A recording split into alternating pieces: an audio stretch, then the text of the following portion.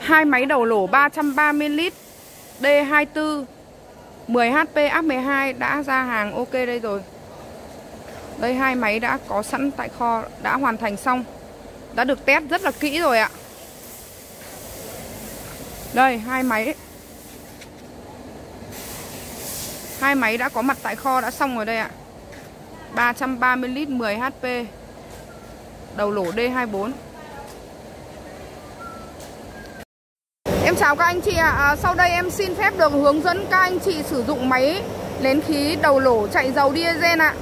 Đây kỹ thuật bên em sẽ chuẩn bị bắt đầu thực hiện nha. Các anh chị theo dõi ạ.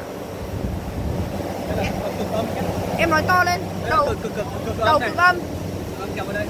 Đầu cực dương kẹp vào đây. Không, đây là cực âm kẹp vào đây. Đầu cực âm kẹp vào đây. Đấy là móc pin.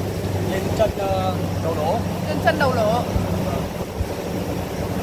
Đây là dương, uh, dây dương kẹp vào đây. Dây dương kẹp vào đây. Đây, kẹp vào trên chỗ đây. củ đề à? Ờ, chỗ... Dây dương kẹp vào chỗ củ đề đúng không? Đấy, không phải con chuột này nhá. Đấy, cái nhớ cái ốc này là được. Đấy, giờ còn uh, rồi đầu còn lại thì mình kẹp vào đầu còn lại. ờ, đầu còn lại kẹp vào chỗ chân áp quy. Dương đầu dương ốc quy. Đầu dương áp quy. Có nghĩa là dây đó sẽ là dương mà dây đen sẽ là âm. Ờ. âm thì chân vào và chân vách nổ dương thì sẽ vào lên cái ờ, ốc này. Đấy được xong nhá xong rồi đưa ga xuống khóa cái mức vạch này này ở đây có cái vạch này. Đấy khóa cái mức vạch một tí xong rồi mình xích chặt vào. Ok. Rồi sau đó mở cái van này ra. Van này mở ra. Này, mở cái này ra. Xong mở luôn cái đầu van này ra. Đấy, tác dụng đấy cho nó nhẹ máy để tí nó kéo cho nó dễ. Xong rồi xong tay này. Áp áp này chị đây tay này tay áp này nhá ấn áp xuống đấy ấn ấn hết cửa tay xuống rồi. Xong tay này bằng chìa khóa chìa khóa nước một là bằng tự do. Đấy đây nước một nhá bằng tự do. Còn nước hai đề lúc đề là tay vẫn giữ áp nhé lúc đề là lúc tay đề tay vẫn giữ áp. Vâng, rồi. vẫn giữ áp. Lúc đề tay vẫn ấn áp xuống đúng không? Bắt đầu xong rồi đề này. Bắt đầu đề nhá cứ bằng là đề thôi. Đấy. đề khi nào thấy máy chạy nhanh thì bắt đầu thả ra. Khi nào máy chạy nhanh thì bắt đầu thả thả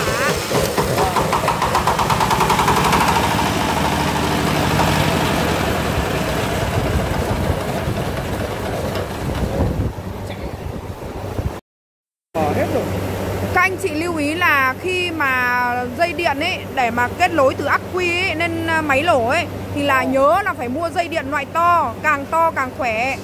Đây, này phải phải mua dây điện to bằng ngón tay như này này. Đây là dây này là dây này là lối. Như này là củ lối với củ đề là dây dương. Dây bé quá là không tải được. Dây bé quá là yếu không tải được đâu không đè lỗ được đâu. Dây này là lối uh, dây dương nối ắc quy lên củ đề và dây âm cũng phải to dây âm đây, dây âm cũng phải loại to bằng ngón tay như này và sẽ lối, cũng lối từ ắc quy lên đến chân nóc chân nóc của đầu lỗ. Rồi, chân nóc của đầu lỗ. Đây là dây âm ạ.